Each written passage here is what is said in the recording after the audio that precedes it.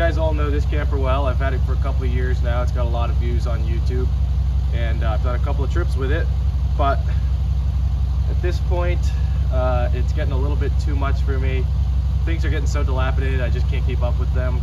And uh, it's just taking up so much space in my yard and I don't use it enough to, to warrant having it take up 31 feet of my driveway. So I went on Craigslist and I found a guy who'd be willing to trade for a 96 or 95 Chevy K1500 of some sorts. It's a manual, it's got a little transmission issue.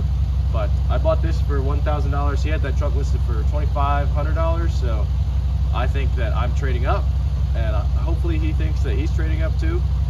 Just depends what all of our needs are. So I gotta drive this two and a half hours to Maine to get it there. It's about 28 degrees right now, so we'll see if it even starts up. Battery's dead, it's charging up with the truck over there.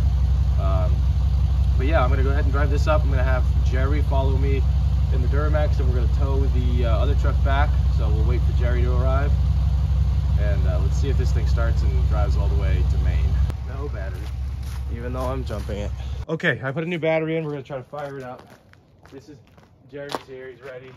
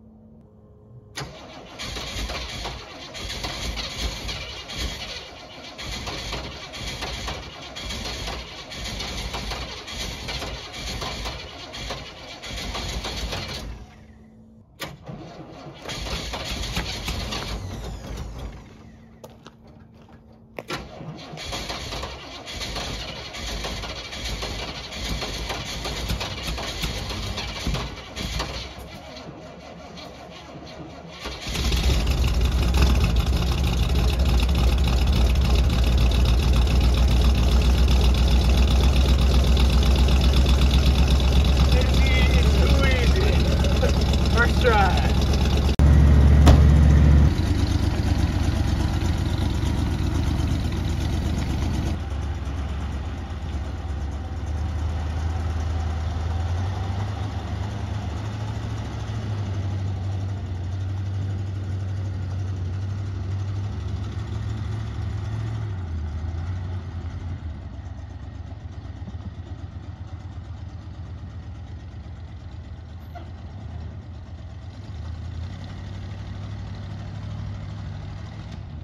So that camper, I backed it out of there.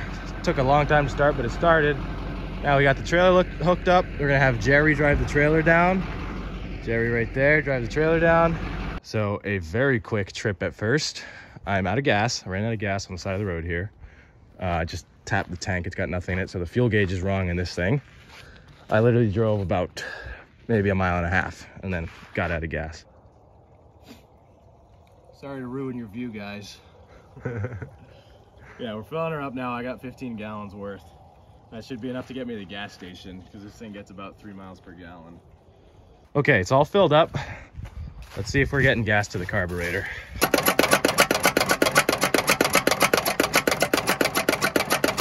Not yet.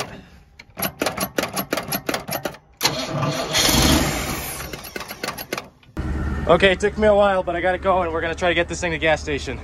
All right, 200 gallons worth of fuel has been sucked into the RV. And uh, hopefully that's enough to make it to Maine. Okay, temperatures and gauge is all good. Fuel is full. Oil pressure is there. We're gonna get on 91 North and uh, just start moving, I guess. On to the interstate. Let's see how she does. Ship's really late. There's two. Just can't push her too hard. It's only got three gears, by the way, so Once she gets in the third, that's where she'll sit.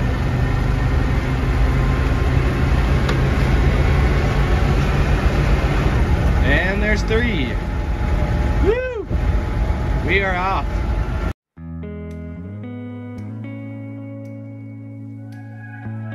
Camper's driving great so far, holds 55. I don't go much faster than that. You can see Jerry there, truck with the lights on in the mirror, uh, following me just in case. Here we go.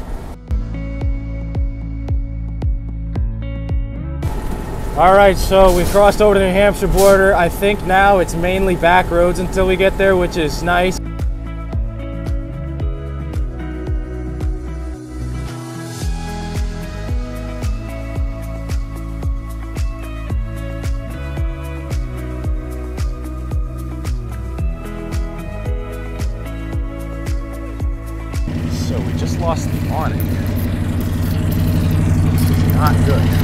Awning is gone. Some of it somehow is like still stuck to the to the RV, so I'm a little confused at what happened, but it just fell off.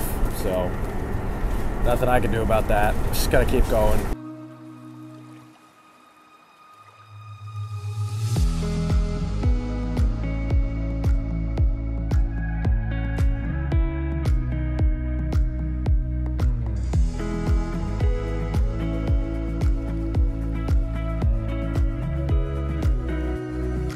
We're flying now, boys.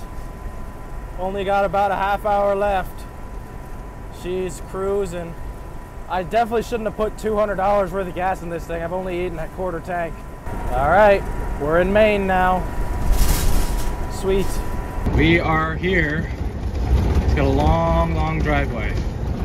Um, RV made it, and it's actually driving and running super well.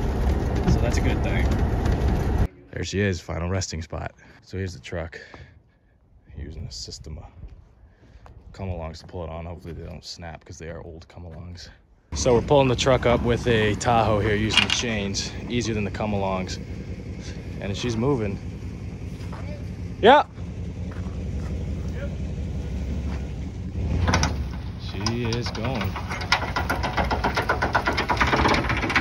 Hold up, up. Uh, we missed the ramps back here. I think it'll still go. Stop. Yep. All loaded up. So we're back on the road, headed home. That truck is loaded up. I am very happy with the deal. I think, uh, you know, a GMT 400 truck is better than a 1988. Sorry about that dinging, by the way. This truck just doesn't stop. It thinks there's something wrong with the brakes when there's not. But that uh, truck is a lot more useful than an 88 RV that has a lot of work needed to be done. What do you think, Jerry? No, I think it's a good deal. Uh, yeah, I mean, the truck looks great. It has a cool like shifter. So Yeah, it looked better than we thought it would, didn't it? yeah, yeah. It. So that I, I'm excited. It, just, it needs rockers and uh, needs the usual rust work that a New England truck needs, but like it's got a 305, got a manual transmission. That thing's gonna be bulletproof once it's on the road. So I'm excited. We'll get this thing back home and take a closer look at it. So we made it back just before dark. There is the truck. Jerry's headed out of here in his eggplant. Um, yeah, I'll let him go by and then I'll show you the truck. So I'm actually heading back to school tonight, meaning I don't have much time. I got to show you the truck in the dark, unfortunately, because I'm leaving right after this. And I'm just going to be leaving it on the trailer till I get back in two and a half weeks for Christmas. But we'll do the quick walk around. A little bit of rust on that cab corner. Look at this bedside, guys. Original. Tailgate, original. Not much rust. I'll show you guys it better in the light. Um, bumper's got rust on it. And a cigarette butt from him. this side has a dent right here. Hard to see in the dark, but again, a clean fender flare. And uh, here's the rest of this side. So there are, the rockers are not here anymore on this truck, unfortunately. Interior is very clean. There's the shifter. The problem is it won't go into any of the gears. It doesn't grind or anything. It just won't go in. He like can't find them. So if you guys have any suggestions, let me know. You can see in the knuckle there. Sorry, it's so dark. I don't have a light. Um, But if you guys have any suggestions on what it is, please let me know. Because I don't know yet. I'm just going to start by messing with all the uh, the linkage, the shifter linkage and all that stuff and the little coupler that, that it sits in like that. See if that has to do with it. Otherwise, we might be just pulling the tranny and putting a new one in. But there's the interior. Doesn't have a third door, but does have a back seat back there. Oh, no way. And it's got a battery in there. I wonder if that battery's good. Haha, he left me a battery. Nice. But yeah, camper drove there perfectly. And that's the end of the camper saga. So thanks for watching this video, guys. I know a lot of you like that camper, but it was just time for it to go, or that RV. And uh, that is what has replaced it. Even trade, I'm very happy with this. I think it looks sweet. It's a sweet rig and it's a manual and it's 4x4. So pretty sweet. Um, thank you guys for watching this video. Let me know what you think in the comments and I will see you when I get back in about two and a half weeks.